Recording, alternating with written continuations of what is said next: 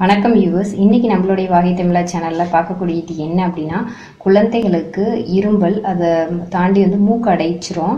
அப்புறம் சளி தொந்தரவு இந்த மாதிரிலாம் இருக்கும். அதுக்கு என்ன ரெமெடி அப்படிங்கிறது தான் இன்றைக்கி சேனலில் பார்க்க போகிறோம் வாங்க வீடியோக்குள்ளே போகலாம் வீடியோக்குள்ளே போகிறதுக்கு முன்னாடி தான் முதல் முறையாக நம்ம வாகை தமிழா சேனலில் பார்க்குறீங்கன்னா மறக்காமல் சேனலை சப்ஸ்கிரைப் பண்ணிக்கங்க. சேனலுக்குள்ளார மருத்துவ குறிப்புகளும் இயற்கை தொடர்பான உணவு பழக்க பதிவேற்றம் செஞ்சுட்ருக்கோம் என்னடா விளக்கு பற்ற வச்சிருக்கேன் அப்படின்னு சொல்லிட்டு பார்க்காதீங்க. இதுதான் வந்து நம்ம வந்து குழந்தைங்களுக்கு செய்யக்கூடியது. அப்போ அந்த காலத்தில் என்ன செய்வாங்க அப்படின்னு கேட்டிங்கன்னா உரைப்பான் அப்படிங்கிறது எல்லாமே உரைக்கிறது.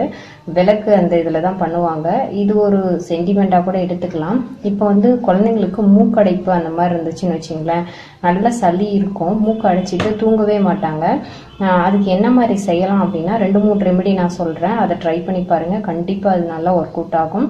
ஆஹ் முதல்ல வந்து பார்த்தீங்க அப்படின்னா இந்த மாதிரி வந்து மஞ்சள் கிழங்கு இருக்கும் இல்லைங்களா? அதை வந்து எடுத்துக்கோங்க. இந்த மஞ்சள் கிழங்கு வந்து நல்லா வந்து ப்ரீத்திங் கொடுக்கும் உங்களுக்கு. குழந்தைங்களுக்கு நல்ல ஒரு இது இது கிடைக்கும். அதாவது என்னதுன்னா மூக்கு அடைச்சிருந்ததுன்னா அதை நல்லா ரிலீஃப் பண்ணக்கூடியது இது. இது எப்படி பயன்படுத்தலாம் அப்படின்னு பார்த்தீங்கன்னா இந்த மாதிரி விளக்கு ஒன்று பற்ற வச்சிருங்க. பக்கத்தில் உட்கார வச்சுட்டு குழந்தைய உட்கார வச்சுக்கோங்க.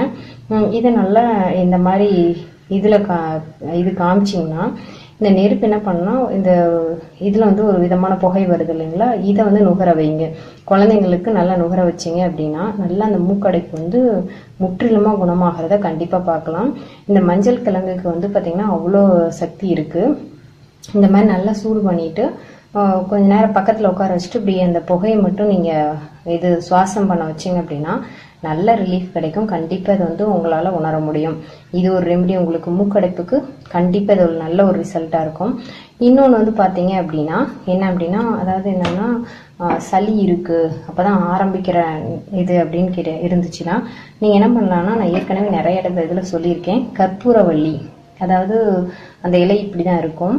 இது எளிதில் வந்து வளரக்கூடியது தான் இந்த இந்த இலைகளை வந்து என்ன பண்ணலாம்னா குழந்தைங்களுக்கு வந்து ஒரு சங்கு ஊற்றலாம் எப்படிங்கிறத காமிக்கிறவாங்க. இப்போ இது நீங்கள் ஒரு சங்கு அதாவது என்னதுன்னா குடிக்க வைக்கலாம். எப்படி இது செய்யலாங்கிறத பார்க்கலாம்.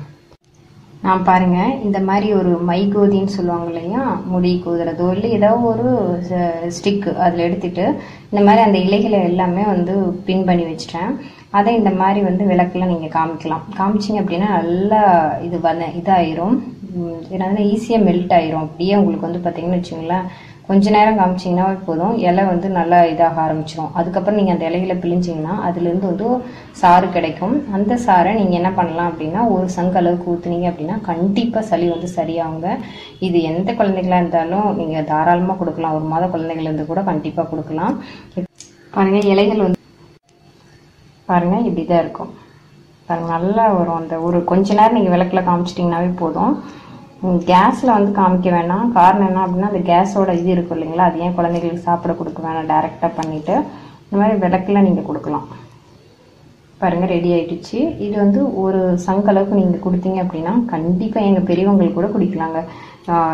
உடனே டக்குன்னு அந்த ரிலீஃப் வந்து உங்களுக்கு தெரியும். குழந்தைங்களுக்கு இருக்கிற விஷயம் வந்து நீங்கள் கண்டிப்பாக உணர முடியும். இதையும் ஒரு முயற்சி பண்ணி பாருங்கள் அடுத்த ரெமெடி அப்படின்னு பார்த்தீங்கன்னா இங்கே பாருங்கள் இந்த மாதிரி ஒரு கரண்டி எடுத்துட்டேன். அதில் ஒரு டேபிள் ஸ்பூன் அளவுக்கு தேங்காய் எண்ணெய். அதை வந்து எடுத்திருக்கேன் பாருங்கள் உங்களுக்கு தெரியுது என்னன்னு தெரியல விளக்கோட இதில். ஒரு டேபிள் ஸ்பூன் எடுத்துட்டேன். இது விளக்குல இந்த மாதிரி சூடு பண்ணுங்க நல்லா.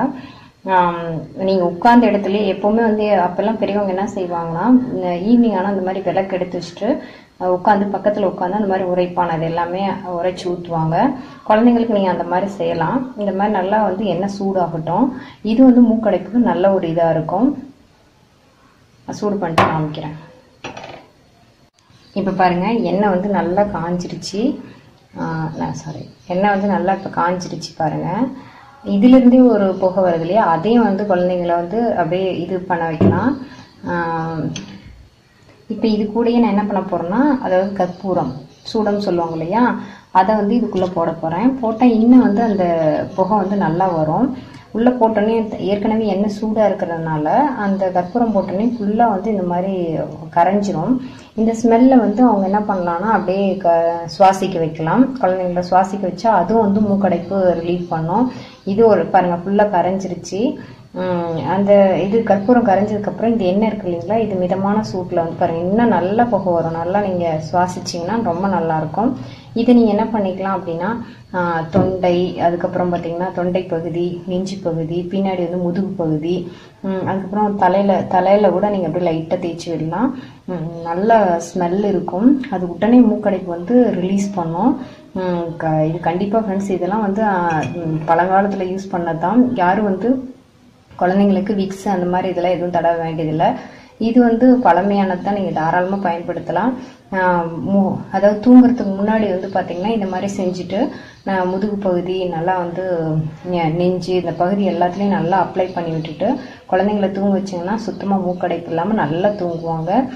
ஒன்று வந்து இந்த மாதிரி மஞ்சள் கொம்பு வச்சு செய்யுங்க. ஒரு இது வந்து இதையும் நீங்கள் செய்யலாம். அந்த இது வந்து அந்த டோஸ் நான் சொன்னேன் இல்லைங்களா கற்பூரவள்ளி அதையும் வந்து மூணு டைம் நீங்கள் கொடுக்கலாம்.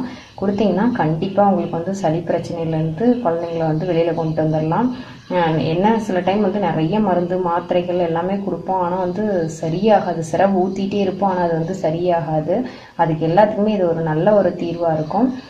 கண்டிப்பாக ஃப்ரெண்ட்ஸ் இது ஒரு யூஸ்ஃபுல்லான வீடியோன்னு நினைக்கிறேன்.